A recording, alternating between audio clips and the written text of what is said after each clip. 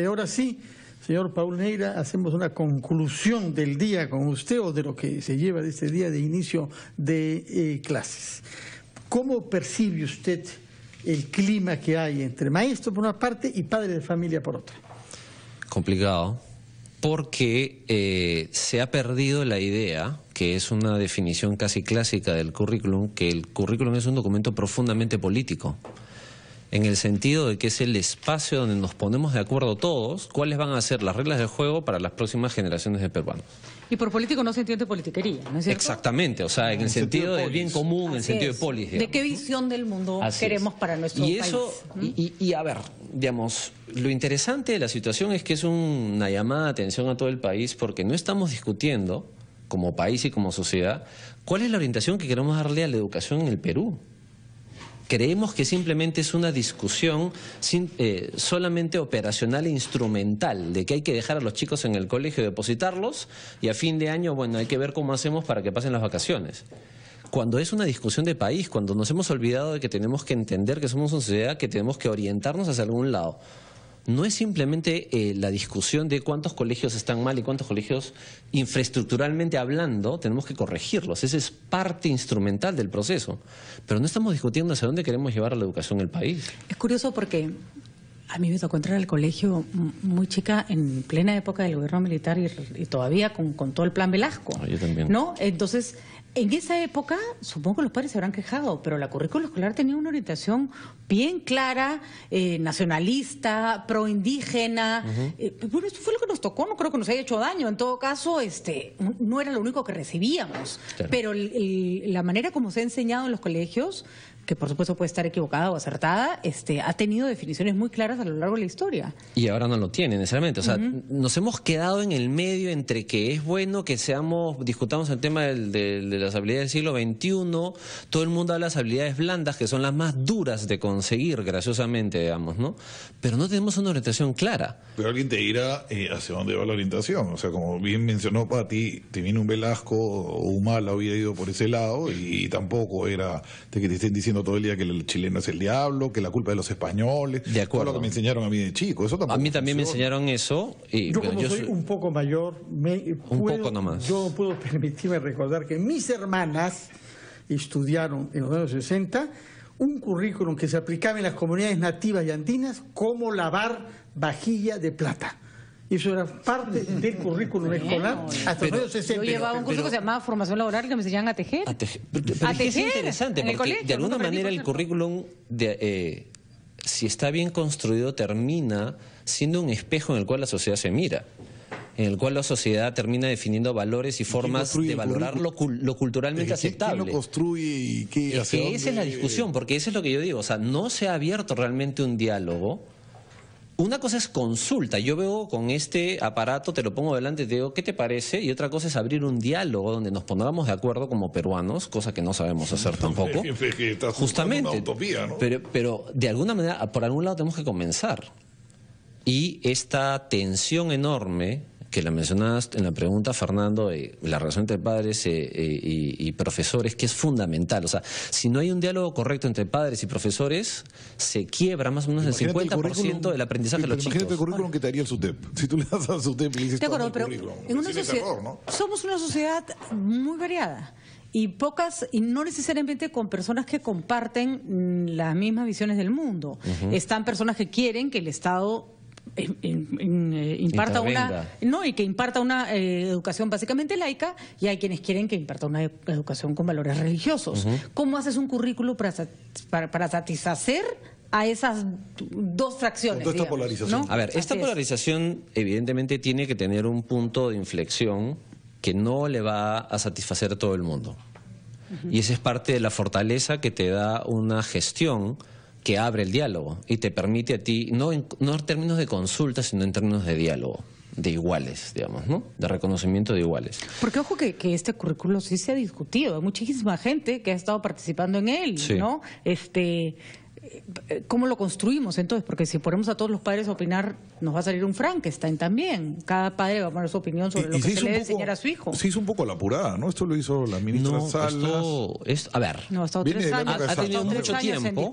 Ha tenido mucho tiempo. mucho?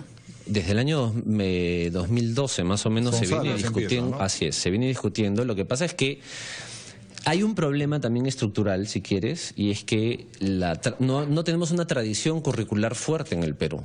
Tenemos profesores que no han sido formados para hacer curricular, o sea, en el, en el Ministerio de Educación se habla de los curriculeros, ¿de acuerdo? Y no hay una tradición de formación clara, no hay una tradición de una escuela. No, nosotros no hemos desarrollado eso. A diferencia de otros países en América Latina, sin ir a México, Brasil, tienen una, una tradición de investigación y de aterrizaje, de definición de temas curriculares muy fuerte. Nosotros no lo hemos tenido.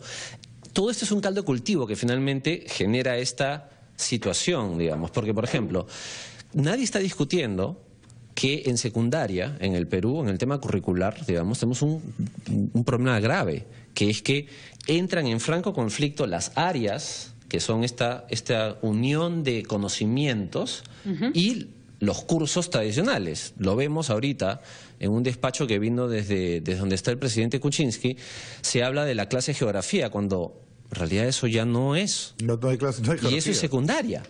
Entonces, y esa tensión no se ha terminado de solucionar todavía. ¿El currículum lo aterrizan a los profesores en estos libros en formación laboral, me parece? no, ahí, o sea, está en libros de formación laboral que son como la guía.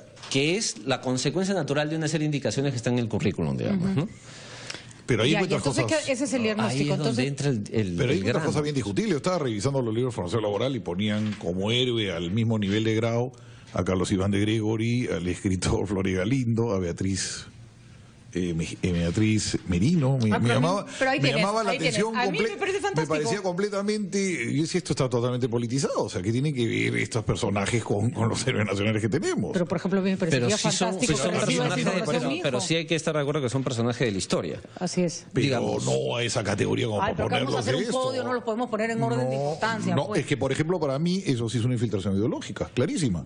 ¿Y, por qué, no, es héroe Hernando Soto también? Entonces, ¿y por qué no es héroe? ¿Y por qué es héroe Beatriz decir algo Beatriz, eh, no sé, cualquier otro. O sea, ¿quién, establece esos parámetros? Parte de. bueno, no todos los héroes van a ser militares, Carlos Iván, pues Carlos Iván de Gregory es un buen escritor, pero no, es, pero no está a nivel de mi grado. Parte de lo que, pero esta mesa ya demuestra parte de lo que ustedes están diciendo.